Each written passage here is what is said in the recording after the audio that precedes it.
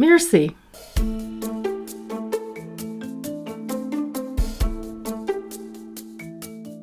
when I'm hitting a wall, instead of trying to bang my head against it harder, I learned that day that my best bet is to actually walk away and allow some space and allow my brain to do the work without me being there with a whip behind it. Hi, I'm Dr. Irena O'Brien, and you're listening to Neuroscience of Coaching. I'm a cognitive neuroscientist with almost 30 years of study and practice in psychology and neuroscience. And as the founder of the Neuroscience School, I teach coaches and other wellness professionals practical, evidence based strategies to use in their own practices. In each episode, I invite a seasoned coach to discuss a topic that clients struggle with, and together we provide you with science based tools to help your clients reach their goals by working with their brains to create results that last. So, today we're going to take an alternative perspective on pushing hard toward breakthroughs and putting in the hours of work toward a goal. We're going to look instead at the value of rest and downtime. Many people are familiar with the 10,000 hours rule that was popularized in Malcolm Gladwell's best selling book titled Outliers. The 10,000 hours referred to a typical amount of time that people were found to have put into their craft to be considered experts, whether this craft was music, sports, science, theater, or whatever.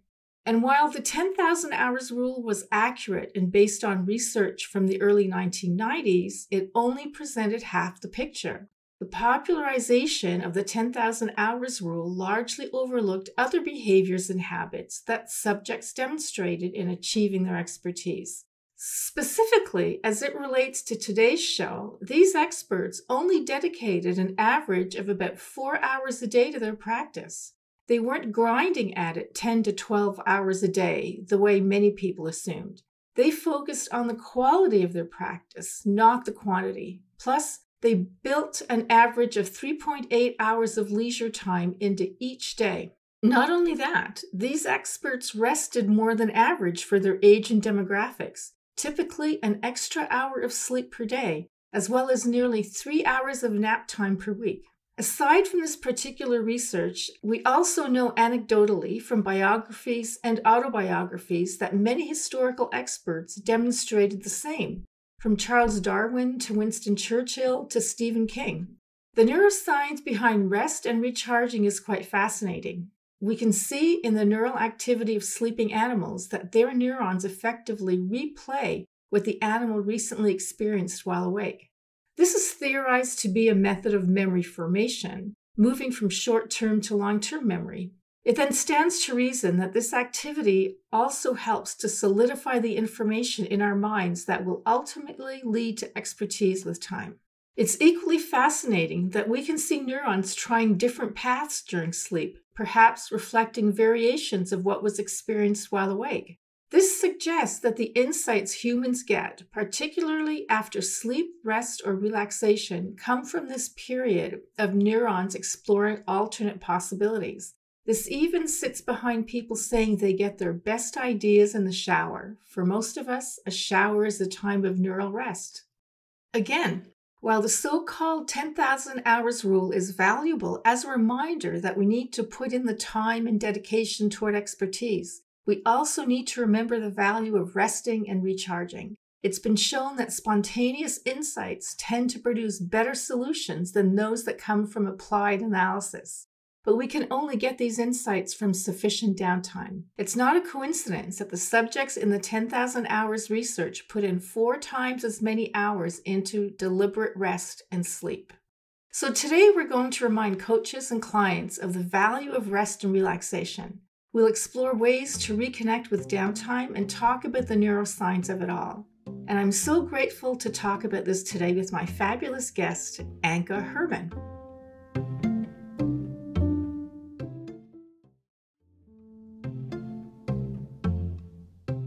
Anke Herrmann quit her software career 20 years ago, moved to Spain, and turned her passion for sewing into a business specializing in flamenco dance costumes. Her business plan was simply let's see what happens. She came to discover that building a business is a creative process, the same as developing software or sewing a dress, a magical mix of vision, skill, and soul.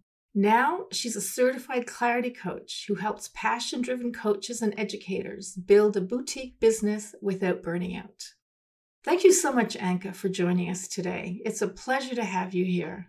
I'm so happy to be here. Thank you. So, before we get into our topic, why don't you give us a bit more about your background and how that informed your work today?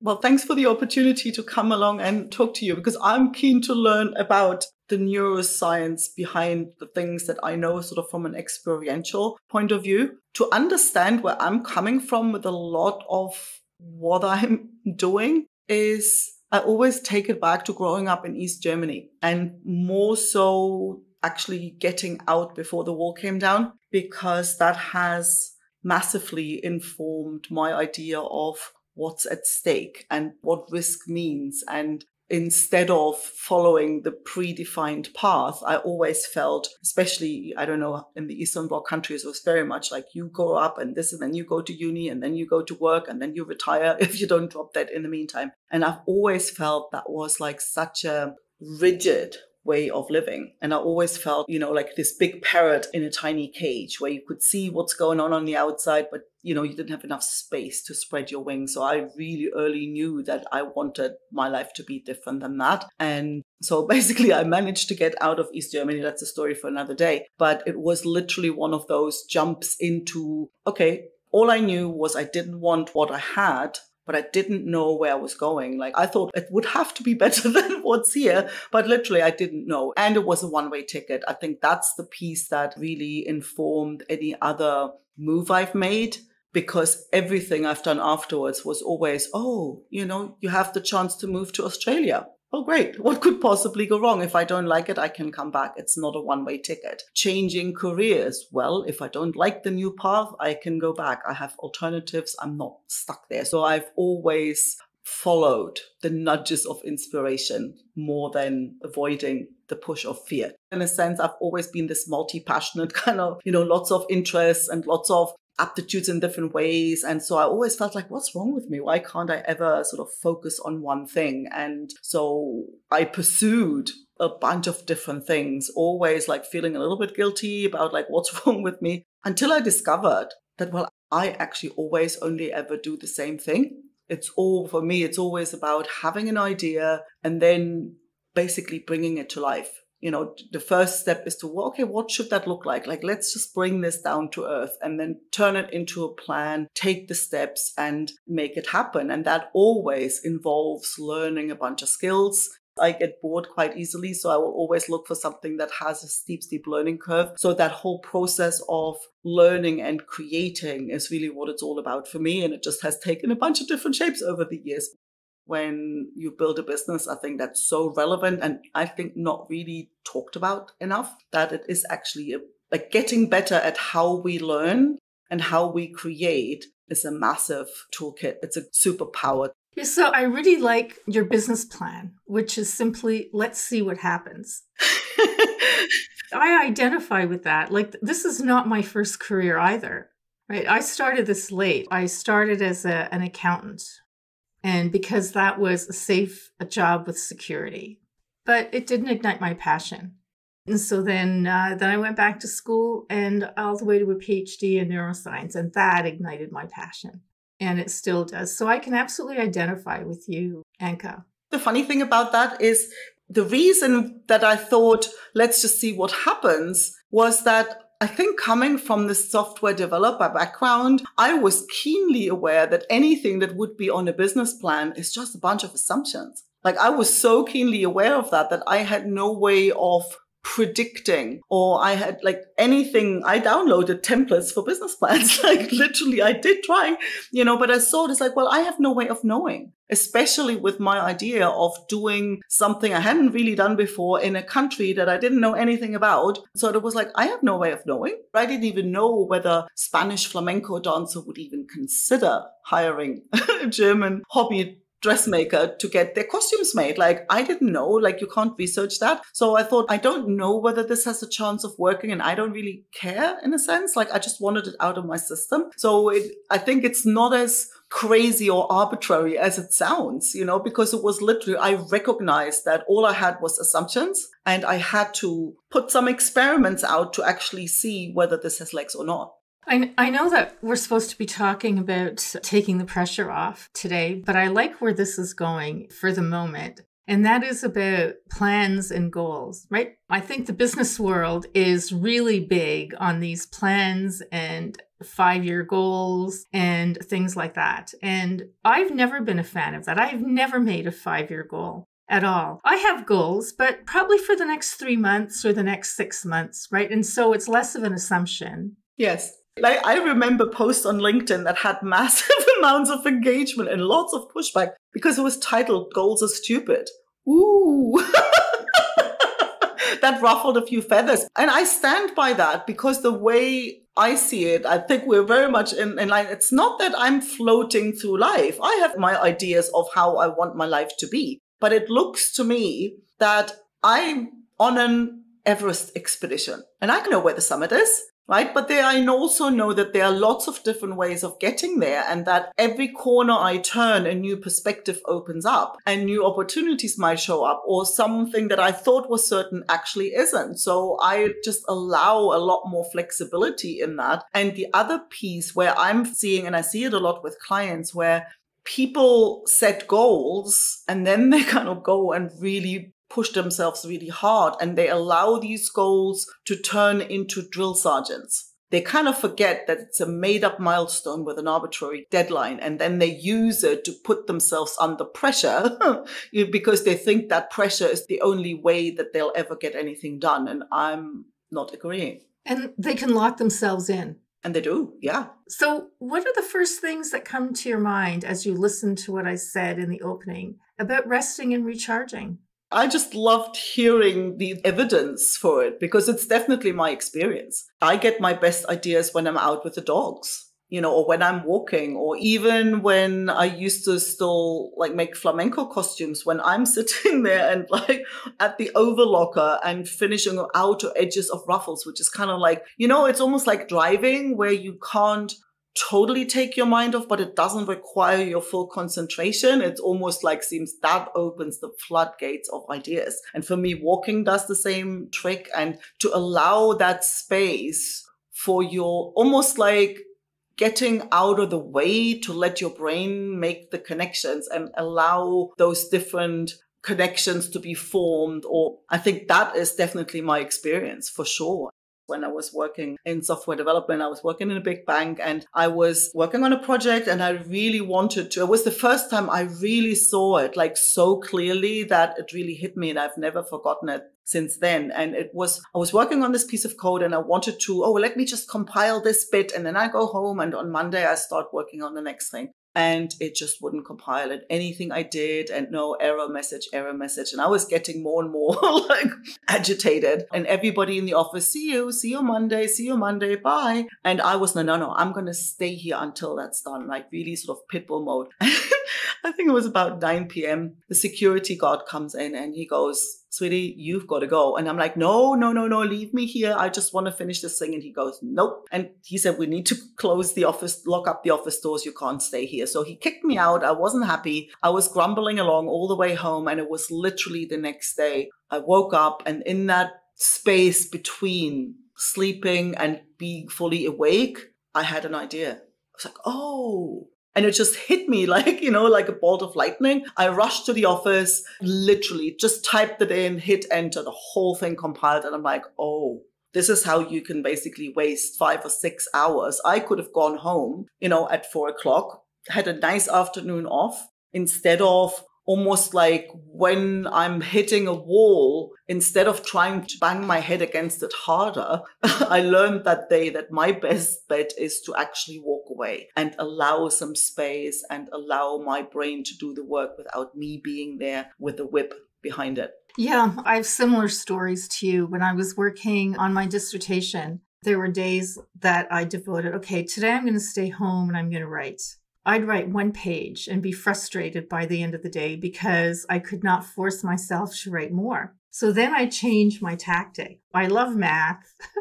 and so what I started to do then was whenever I got stuck in my writing, I'd go and I'd do some statistics, right? Statistics was in the same way as, as your flamenco sewing thing. It was almost automatic. And after half an hour or so, oh, I'd have, I'd get unstuck, right? Yeah. And so I still do that today. Like when I'm writing, and if I get stuck, I don't have statistics to do, but I have my accounting to do. so I'll switch over to that and then come back. Or if it's late in the afternoon, just let it go for the day. And in the morning, it is amazing the progress that I could make when I was stuck the night before. So true. And ever since that day in the office, I've been quite conscious. The moment I feel stuck, I'm like, okay, I'm going to give myself five minutes of headbanging here and then I'll walk away. And I find it's incredibly reliable. I don't think it's ever not worked, you know? So that idea of let's just take the pressure off. And I find that when I see when I'm writing, I sometimes feel, oh, I'm a little stuck. And you know, then I have this urge to like tinker around on Facebook for a bit. And I've started to realize that, you know, when I give myself permission to just go and tinker on Facebook for a bit, instead of like, oh my God, I need to uninstall, it's a distraction. I need to uninstall the app, right? So I'm just like, oh, let me just switch off for a second and tinker around somewhere else invariably. Two minutes in, and I realize, oh, I just needed that little off switch for a second for that thought to form. Right? And it's almost like I've come to the point where I give myself ruthless permission to allow to just follow those nudges. If I feel like walking away, I will. If I feel like tinkering on social media, I will. And I find every time I'm trying to and I do encourage clients to give this a go. Like, you know, take some time off when they try and work really hard. And sometimes like it's not working and it's not fast enough. And you can tell the more of a sense of urgency they feel. It's like the more tense they are, the less progress they make. But the interesting piece I find is every time I say, so, you know, When's the last time you've had some time off? Oh, well, yeah, well, you know, I did something on Saturday, but like uh, we had family come, like, no, you're still doing stuff you're supposed to do, right? So this is still not really taking time off and allowing yourself to not think about work because sometimes it's even if they're not working in the back of their mind is like I should really be working. So it's like how hard that is when people are conditioned and educated from a young age, I assume, to have this, you've got to work really hard. And if it's hard, you just have to push harder to actually let go of that. And there's always the sense that if I don't give myself these tough guide rails and if I don't put on all that pressure, I'm going to fall apart and crumble. And I'm saying, well, actually, you know what? You're going to find you get a lot more done uh, with a lot more ease. And they really struggle to give themselves enough permission to even try it out, to even get a chance to experience it. But when they do, they never go back.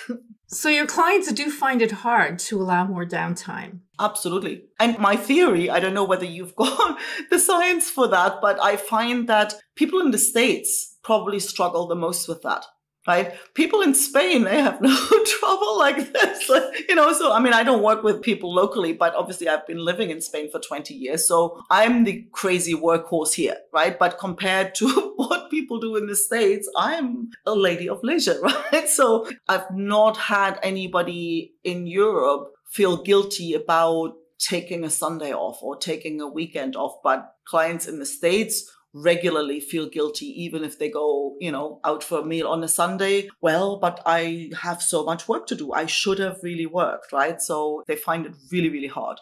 So are you able to get them to schedule in some downtime I usually do. Yes. My approach to that is I will make any step so tiny until even their monkey mind can't talk them out of it. Right. So if I'm initially, I'm saying, okay, take Christmas off and they go, Oh my God, I couldn't possibly do that. Right. Then we go down, well, take a week off, you know, take a day, take a Sunday, take a Sunday afternoon, take one hour after lunch on a Sunday. You can't tell me you can't do that. So I know you don't need a lot of time. So I will negotiate and go down until they go, oh, well, I can do that. Right. And it's usually sort of a couple of hours on a Sunday afternoon. They'll go, yeah, oh, I could possibly, you know, and once they get hooked, literally the one client who was most resistant that's quite funny because he's going to listen to this for sure. he was like initially, I kind of had to work hard to get him to take a couple of hours. The other day, he says, You know what? I was thinking, I'm going to take August off.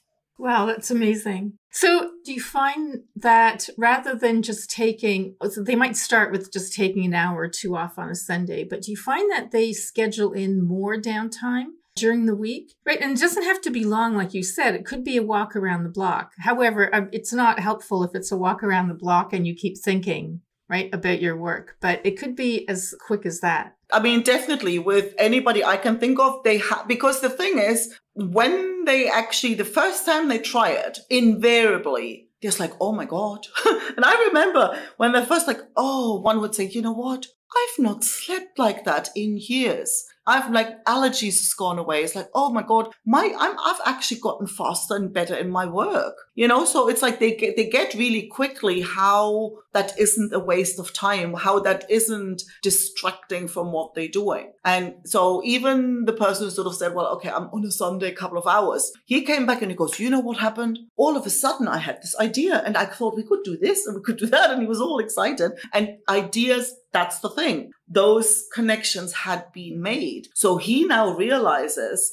well, actually, this is like a very clever strategy. This isn't almost like me being naughty and doing something I shouldn't be doing. It's actually in my best interest to make time for this because this is what creates the space and what creates the ease to move along much faster and easier than if you just kind of keep banging your head against the wall. Exactly. And business is more fun than when you schedule in that downtime. I say schedule in, but I mean, I don't schedule in my downtime. It's just when I get stuck, I know, okay, it's time to let it go and uh, either do something completely different or really just go out and have a walk or something like that. There's something interesting that you mentioned uh, earlier, and it was how you had an idea in that period between awake and sleep. So that is called N1 sleep. So N1 sleep is that period just before you fall asleep. And most people will have that idea by accident, but you can systematize it in a way. And so as you're falling asleep, let's say for a nap in the afternoon, and I'm a big believer in naps too, right? Because that it's the same as sleep. Right. So as you're trying to fall asleep, you should hold something in your hand like car keys. And then once you fall asleep, the car keys will drop and it'll wake you up. And if you have an idea, you can capture that idea. That's so cool. I'm going to try that out.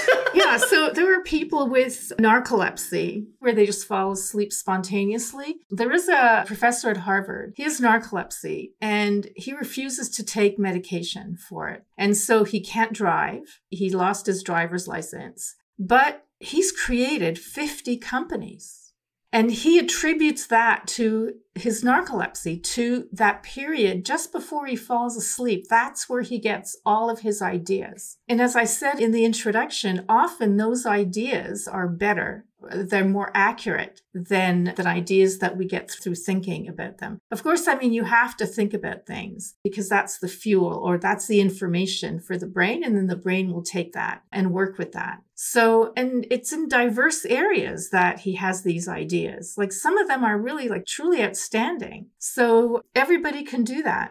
That's fascinating because I've seen documentaries on it where people would literally, while they're eating, they just kind of fall so, and it happens like quite a lot. So, so that moment of falling asleep where you and me have that once a day, and maybe if we take a siesta, maybe twice, he'll have that 20 times a day. And the problem with us is that then we fall asleep and we wake up in the morning and we've lost whatever it was that our mind, right? And so that is the benefit of having something like car keys or house keys, right? That will drop and wake you up. And then you can capture that. Ooh, I'm going to try that out. I'll let you know. Do you talk to your clients about getting a good night's sleep? When I feel that they are tired, they kind of do too much, then definitely it's a, yeah, hell yeah. Because I've noted, I mean, that's something, yeah, when I had my sewing business, there were like way too many work through nights. And boy, do you notice when you don't have enough sleep, how that impacts how you operate and, you know, you're just not at capacity. Exactly, because the research shows that you're only going to get these great ideas if your brain is rested.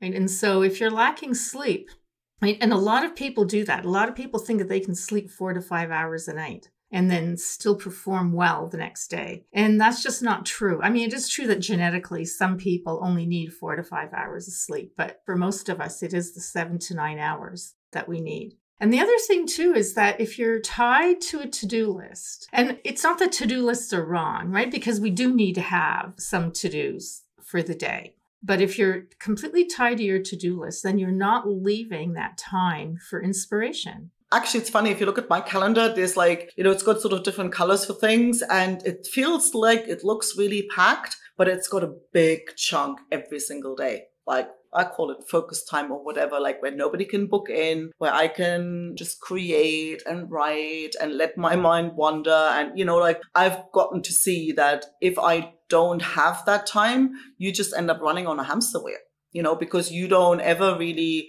create anything new. You kind of almost like you don't have time, you don't have heads, but it's not even like the physical time, it's the headspace.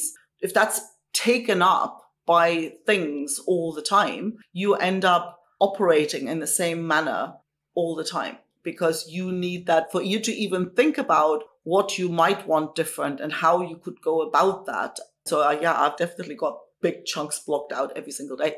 Yeah. I think you're great. Encouraging your clients to take time out because many coaches don't do that, I think. I've heard that from clients on more than one occasion. Like one actually literally said it to me. He says, You know what? I've worked with so many coaches, and everybody's I've ever worked on puts pressure on in some way, right? There's here's stuff to do, here's accountability. Like, have you done the thing? Have you not? And he goes, like, you're the opposite. Like, you take pressure off right? And I'm like, well, yeah, because we just function better, right? Even like muscles, when muscles are relaxed, you know, you can stretch further. You kind of, they, are stronger. Like if, if anything that's tense is kind of fragile and rigid. And I think that works for our minds as well. So, and the funny thing is, he would come on in the beginning very much like, Oh, I'm a procrastinator. I don't ever do things. And I'm like, That's not true. Like, you're here, like, you've never missed a call. That's not right. And then he goes, Oh, I was supposed to do that video, but I didn't. And I'm like, Okay, whatever. We'll do it now. And then we could really see his face. It's like, what? you know, so he kind of almost expected to be told off or to be like, no, no, you have to work more. You have to do more. And I'm like, what's the point of beating yourself up? Because when you're in flow writing or creating anything, you get so much done and you know and you can work and you don't feel drained at the end of it right and so if i say well you didn't do the thing well let's just work off the assumption that your mind hasn't finished digesting things yet just get out of the way what if what you think is procrastinating what if that just is giving your brain the time to make the connection it needs to make for you to be able to move forward without hesitation. And he goes, Oh. And the moment the pressure's off, the moment he can, like, okay, so if that video isn't done this week, well, nothing happens, you know, like, let's do it next week. All of a sudden, he has that space. And next he goes, well, actually it was a good thing we didn't do it then because now I've got something else and we can do it differently, which is actually much better than the original plan because that happens a lot as well. Yeah. What's the theory behind that? That you don't get what you want and you're like a little bit disappointed. And then you think, oh, actually, it was just a stepping stone because what came after that was actually much better than the initial plan. Well, your brain is always working on it. If you feed it that information, so if it's something that's important to you, your brain will continue working on it in the background, like you won't even notice, right? So, do you have like a client success story, like how their business just started to take off when they started to take time out? Oh, well, several. like one was actually like the one that I like really think of fondly. She's been my client since, you know, for the last nine years or something. So she was literally like, okay, over Christmas, I'm just going to allow myself to relax into, you know, and just follow whatever nudges I feel. She came back. That was the first thing. Oh, you know what? I had digestive issues. They're gone. She said, you know what? The quality of my work has improved right? And she says, actually, I get stuff done a lot faster. Then there was other projects that she'd been sort of really pushing to achieve. And all of a sudden, you know what? I got a call. you know, I talked to this friend and all of a sudden we have this idea for this podcast and it's all in motion, right? So it's almost like the hurdle from idea to being in motion kind of melts away when you're not pushing so hard. So yeah, this one's on a roll. She is absolutely on a roll. It's almost like in dating when you stop trying so hard, things happen, you know, and it's kind of that. Like when you're almost more relaxed and there's that, it hasn't got like your whole way of operating hasn't got that needy feel to it that like, oh, I really need to make this happen and I need it to be this way. Otherwise, I'm not going to be good enough or not whatever. So the moment you bring more permission, more allowing into this whole thing, all of a sudden stuff falls into place. It's almost like all the overthinking, everything that comes with this tense way of operating, that drops away. It's what I teach my students. And the research shows we really can only put in four to six hours of hard cognitive work in a day. After that, our brain is tired. And the research that I'm thinking about had these participants do these hard tasks for six hours in the day. And then they had to make decisions throughout the day. And they found that as they got closer to the six hours and after the six hours, they were making decisions that were easier and more immediate, where the reward was more immediate. Right. Whereas before, when they started in the morning, they could wait, right? Where the reward was bigger, but they would have to wait and do some extra work to get that reward. By the end of the day, they were just making quick decisions. Easy, now, immediate, no extra work. That's fascinating. Actually, I just read an article on LinkedIn the other day and it was about recruiters. Like when they go through resumes, it's the same thing. They basically said it's almost like whether you get an interview depends on how tired the recruiter is on the day. And they literally said when they first come in in the morning and they're fresh and they start going through, and I've experienced that when I was still in corporate that, you know, when you sort of still fresh, there will be a resume and you look like, oh, you know, where could the transferable skill be here? You know, so after 70 resume, it's like, yep, got that tick, tick, yes, no, out. And you could like, oh, I've experienced that. And definitely that was the whole point of that recruiter's article. Yeah, that makes so much sense though. It's the same with judges. Judges give more lenient sentences first thing in the morning and again after lunch. And then progressively, because of their break, until the break, their sentences get progressively harder. Yeah, that makes perfect sense. I've been on Duolingo learning French for 795 days. So, but it's an experiment. I don't really need French for anything, right? And now, like, this has been the most fascinating experiment because almost like it takes that whole concept of don't push too hard and allow enough space for your brain to do the work and like just take your fingers out of the machinery. This way actually takes it quite to the extreme, right? And I'm not pretending I'm fluent in French by any means, but I've only ever put five to 10 minutes a day. So it's fascinating how powerful that is because it's almost like there's no rush in it. But over time, I'm thinking I've not put any effort in at all it's just a game I play for a few minutes every day. It's the same reasoning, right? You you do your 10 minutes and then you go on to something else. Right? So it's kind of like my dissertation and then working on my statistics. Or you do your 10 minutes and then you go to bed. Right? So your brain works on it overnight to solidify the memory. That's what it does if at night. But if it's during the day and then you do something else, I mean, your brain's still working at it. Yeah. And it's fascinating because it feels like this is effortless. You know, it just sort of sinks in. It feels like I'm not really doing anything, you know? Yeah. So, finally, is there anything else you'd like to say to our listeners? I think the main thing that I would love people to never forget is that working harder isn't going to get you there faster. It's this slow down to speed up it's if you've never even considered it, I would definitely want to, you know, invite you or call a challenge to actually give it a try. Because if you've operated for decades sometimes under this, like, oh, I need to work harder, that if I'm not where I want to be, I need to put in more effort, more time, more, you know, push, push, then it's not going to come naturally. But I would definitely want to like, give it a try because once you've experienced it, you're not going to go back. No, I mean, I built my business on four hours a day right? I suffer from anxiety, and that's all I could do was four hours a day. And I'd originally thought, no, you can't build a business on four hours a day. Well, yes, you can. So, what's the best way for listeners to learn more about you and what you do? Well, my website's a good place to start. It's ankeherrmann.com. That's A N K E H E R R M A N N.com. If you're interested in playing, if you want to have a bit of a go, a bit of an experience, you can go to theentrepreneurialexperiment.com. And there's a literally a little, wee little mini course that you can take and that just sets up some experiments for you so you could experience what it's like to get away from the push, push, push hamster wheel kind of culture. Yeah, that's wonderful. So, Anke, thank you very much for your time today. This has been a truly enlightening and fun conversation. Thanks so much for having me. So, thank you everyone for listening. As our society becomes ever more connected 24 7, we need to remind ourselves to embrace the value of rest, relaxation, and recovery. The push ahead, go, go, go mentality that is too common in Western culture, especially among entrepreneurs, is not supported by neuroscience. Prioritize sleep for learning and memory consolidation. Allow space to reflect on new ideas and insights upon waking. Dedicate time to learning and exploration, which the brain will integrate during your sleep. And remember that the brain creates cognitive maps during sleep that will improve your strategic thinking and planning while awake.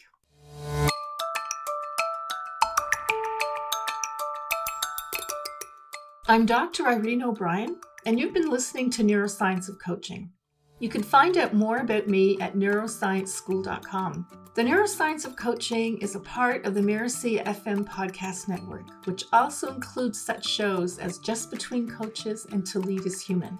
This episode was produced by Andrew Chapman. Danny Iny is our executive producer, and Marvin Del Rosario is our audio editor. To make sure you don't miss great episodes coming up on Neuroscience of Coaching, please follow us on Mirasee FM's YouTube channel or your favorite podcast player. If you enjoyed the show, please leave us a comment or a starred review. It's the best way to help us get these ideas out there to more people. Thanks, and we hope you'll join us next time.